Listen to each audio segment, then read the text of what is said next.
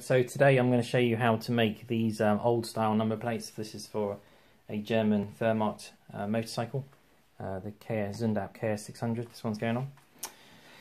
Um, so the, obviously back in the day they would have been uh, hand um, enameled. Someone would have sat there with um, you know a long brush and literally drawn them out. But uh, you can try that if you want, but it's really difficult to do. So this is going to uh, I'm going to show you the easier way to do this. Um, it's a bit of a cheat, but uh, as you can see, it's pretty effective. Um, there's one side, there's the other. These, of course, go on the front mudguard of um, motorcycles. Next thing to do is give the number plate a quick sand.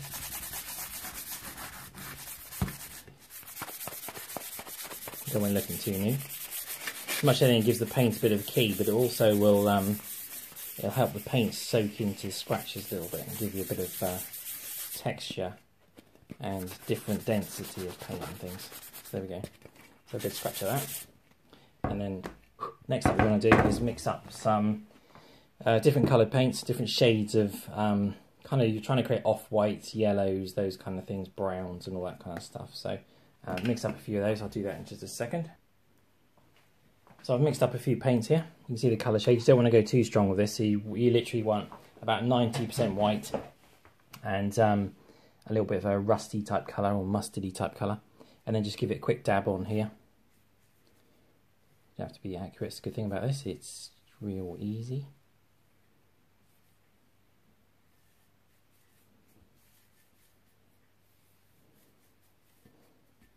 That's it finished. Great, isn't it? As if. Right, um, so just leave that for a little bit. We'll leave that for just a few minutes to dry off slightly. Let the some of the water evaporate and the paint just thicken slightly. Right, so now it's dried slightly. You can see the dry patches appearing. We're just going to wipe it off. Just spread it around a bit.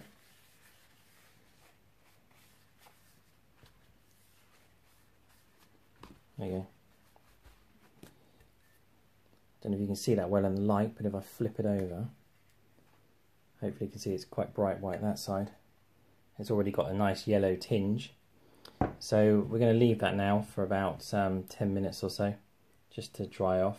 And then we'll give it another coat. We'll do, we'll do this a few times, and we'll slowly build up a kind of shade, and that way you won't see the obvious lines, but you'll see as if all the paint has um, faded or the UV's got to it, or and the oils have risen, because obviously that's probably what would have caused uh, the yellowing, along with other mud staining and stuff over the years.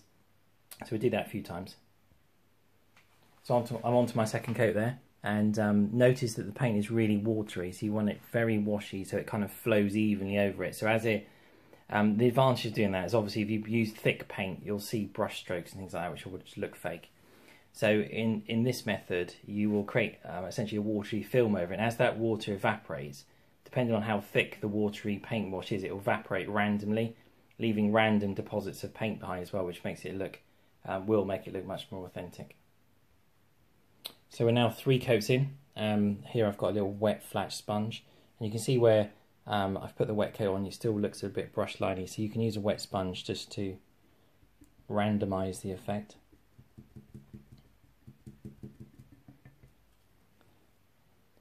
So there you can see it looks better than just brushes. So just give that a quick dabbing.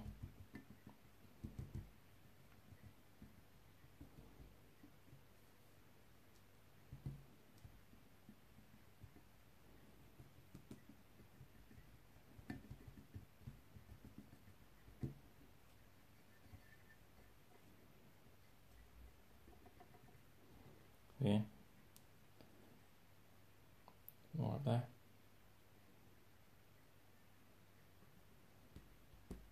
Let that dry. So I brought back in the white sheet for a minute and then you can see how much, um, how different it looks already.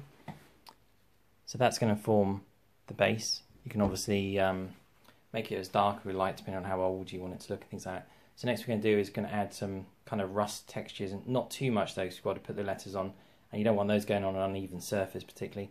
And obviously the letters would have been on there originally, so the rust would have occurred on top of the lettering as well, so we don't want um, too much rust in the background, but I'll do that now. So when applying the rust effect, um, use a nice dry brush like this with a bristly end and use neat um, paint. I'm using a dark brown acrylic. These are all water-based acrylics, in case you're wondering. And bring this in. And then, not too wet, of course, just give it a light dabbing and think about where the rust would actually occur. It obviously occurs where there's most water um, penetration or stone chips and things like that. So generally around the edges where it wouldn't dry out as quickly as perhaps the middle. And the more exposed to a corner, there'd usually be more rust in the corners. And then it would become progressively lighter as you uh, came into the number plate. So just go along give it a nice little edge. Like this.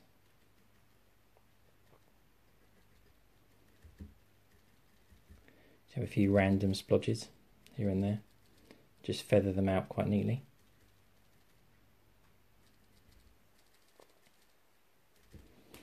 Yeah, pick that up, show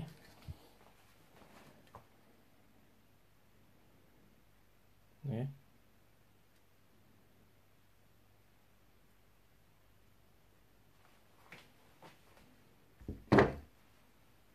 Obviously do both sides.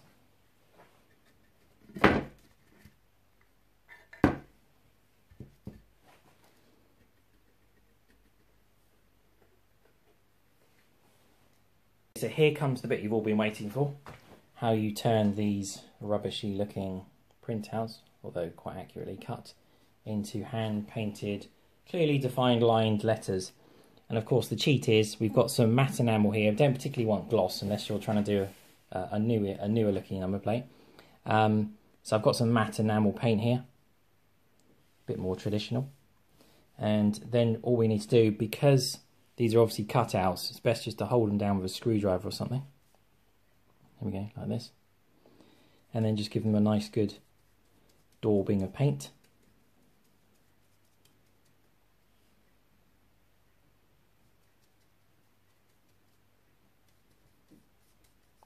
Like so. Slide him out the way. Wheel in the next one easy as that. And of course, by doing this, you then get some nice, clearly defined hand painted lines. The enamel being that bit thicker and oily or whatever it's made of. Comes out of treats. There we go. Just slap that on. The more kind of brush strokey hand painted, the better, really, because then it looks like you've actually done it for real. And then, of course, you can see that you just slide them out of the way. And they're perfectly defined hand painted letters. So we're going to do that for the whole lot, and then uh, then we're going to glue them on. You might want to give them two, a couple of coats. I wouldn't give them more than that because you want them quite thin. Um, you can adjust it. The first coat will soak into the paper, and then so then give it one more coat at least on top, I would say. But don't go over the top with it because you don't want to curate chunky letters. And then we'll come around sticking them on in a minute.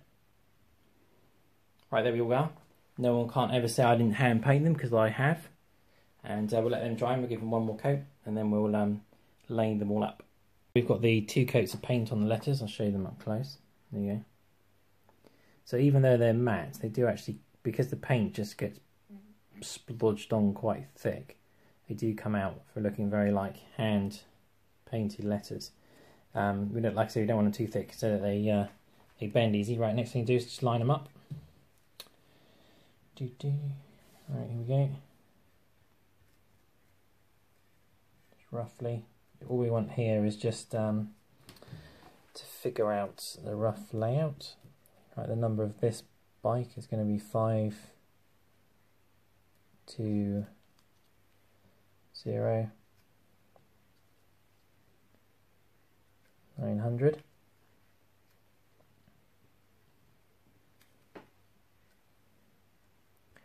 like so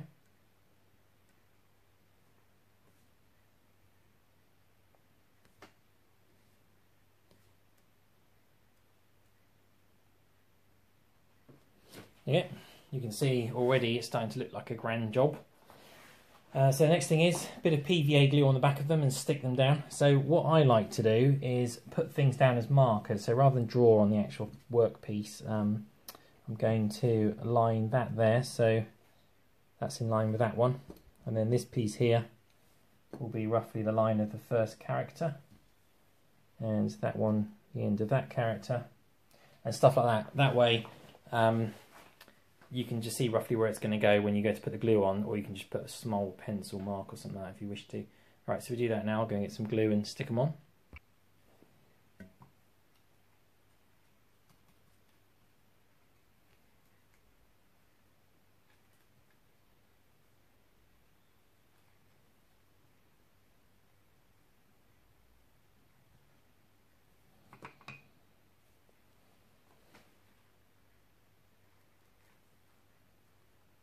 Stick them down roughly. You can slide them around afterwards before you push them down. Get a bit of tissue. Just dab the little fellas down. Yeah.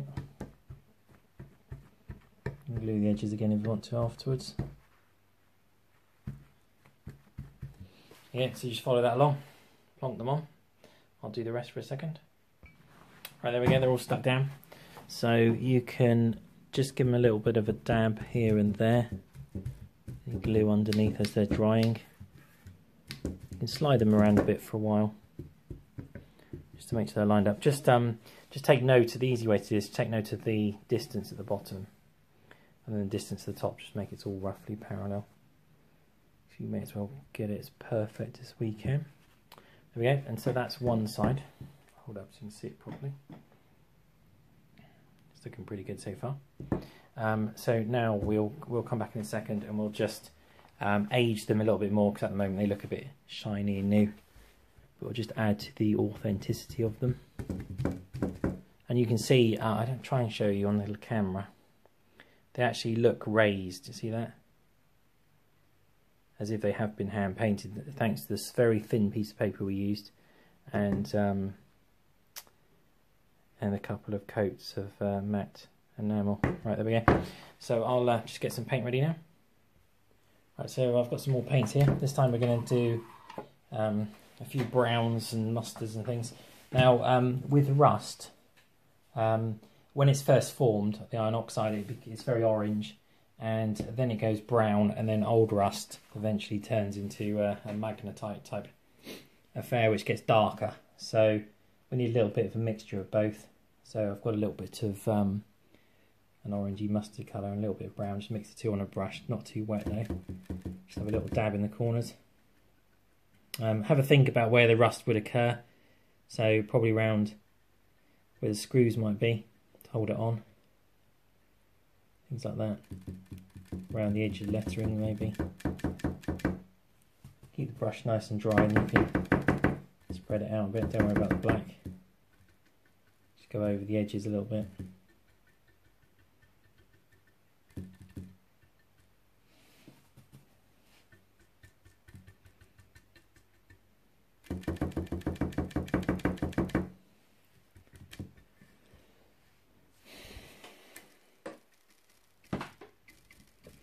These random dabs here and there.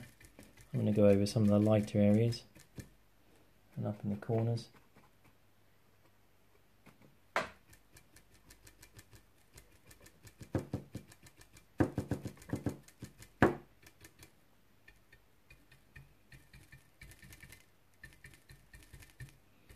Go over the letters a bit. Just to dull them off. We can wipe some of this off afterwards if you don't like it. You really want small amounts of paint and quite dry. Try not to think of any patterns, it's actually quite difficult for a human because you tend to uh, do some kind of pattern whether you know it or not.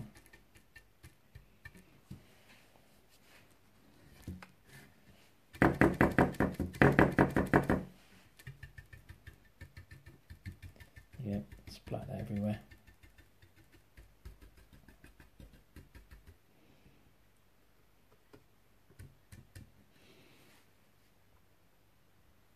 Right, so now I've just applied a little bit of orange to it, some dabbing out, again mixed with the brown. It's over here, look, a little bit dab of brown, then onto the tissue, and back onto the orange. Just random splodges. You can just build this up if you want to, uh, on how you want it to look. Okay, that's probably about right. And then we've got one more trick coming up. Okay, and uh, up next we've got real rust. I'll show you that. There you go. Nice bit of iron oxide. And the easiest way to make this, really, really simple, is just to get some um, steel wool, uh, soak in warm water for about 20 minutes, and then put it in a tub. And it, it literally doesn't look like it rusts that much. It does rust on the surface, but then when you squeeze it, it just literally turns into proper, um, nice shades of um, rust there. So I've dabbed it, dabbed the brush in the uh, PVA glue there, and then I'm just having a little jab around. This will now give some proper um, texture to it. There you go, a little bit of glue, a little bit of a jab.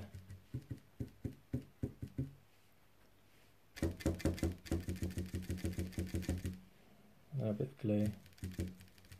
And the good thing about this, you see, is it will actually wear off leaving a more realistic and sort of three-dimensional look to it. We should plonk up on those. A bit more orange in amongst that. So you can literally just mix the colours around um, until you've got the look you want. Okay. Jab on there. Rust. Just literally randomise whatever you want. And you can rub this off again, it's not too difficult if you don't want it or you think you've done too much or something. There you go, just wipe these off a bit. A bit more in the middle.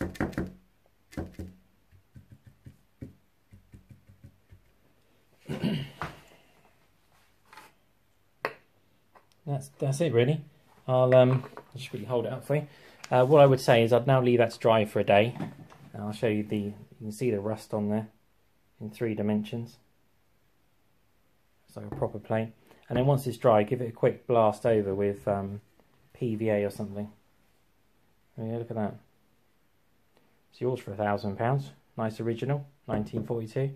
So um, I've just put a little bit more, um, I was just thinking about it, and I've just added a little bit more rust around the outside of it, a bit more orange as you can see. So that's one side, and uh, there's the other side. There you go. It's actually quite effective. Um, and like I said, I'd give it a little bit of a matte varnish or something over top just to bond it all together and protect it. And um, you can, of course, put the uh, Waffen stamp on there if you want to. I've got one, but I'm not put on here because I know what some people are like on YouTube. Start sending me stupid messages and things like that. Uh, but I'll add that on later. And that is it. The uh, Have a look at the website if you want it. The, the URL's in the description.